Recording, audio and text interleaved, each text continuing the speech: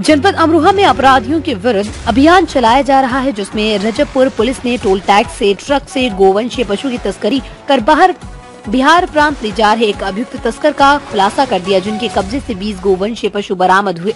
खुलासा करते हुए पुलिस अधीक्षक आदित्य लांगे ने बताया कि दिनांक 11 नवंबर 2022 को थाना रजबपुर पुलिस द्वारा जोया टोल के पास वृहद ग्राम जमापुर एन एच चौबीस आरोप चेकिंग के दौरान पुलिस टीम को देखकर भागने का प्रयास कर एक ट्रक में सवार जनपद मुरादाबाद थाना भोजपुर क्षेत्र के निवासी अभियुक्त शमी अख्तर पुत्र इदरीस को गिरफ़्तार किया गया, जिसके अन्य साथी मौके से फरार हो गए। गिरफ़्तार अभियुक्त के कब्जे से एक ट्रक में पीछे छिपाकर क्रूरता पूर्वक बांधे हुए 20 पशु बरामद हुए। गिरफ्तारी व बरामदगी के संबंध में अभियुक्त गण के विरुद्ध थाना रजबपुर पर सुसंगत धाराओं में अभियोग पंजीकृत किया गया। इस दौरान मौके से बरामद ट्रक के कागजात न दिखाने के कारण थाना के अंतर्गत सीज किया गया।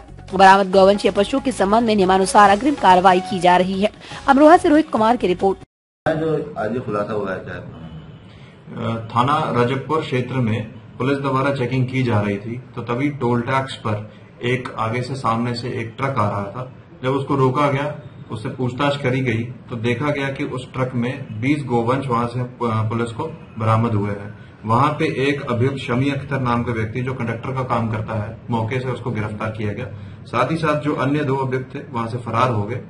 इसके अतिरिक्त वहाँ से पूछताछ में ये पता चला कि इन व्यक्तियों द्वारा ये पशु पंजाब से लाए गए थे और पंजाब से ले जाकर ये बिहार ले जाने का काम करते थे। इस गिरोह के अन्य लोगों का भी और नाम जाने, जानने की कोशिश की जा रही है। साथ ही साथ इस व्यक्ति को गिरफ़्तार कर जेल भेजा जा रहा है।